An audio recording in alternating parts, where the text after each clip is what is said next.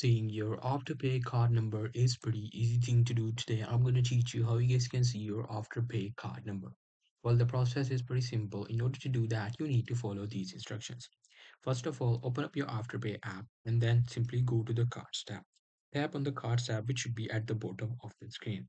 Access the card details. If you have already set up your Afterpay card, you will see an option to view the card details. Just tap on this. Authenticate your identity and then you just have to click on this you know uh, view your card uh, by clicking on uh, view your afterpay card number. And there you go. You will be able to see your card number expiration date and cvv right there. So that's very much it. That's how you will be able to do it. Hope you guys find this video helpful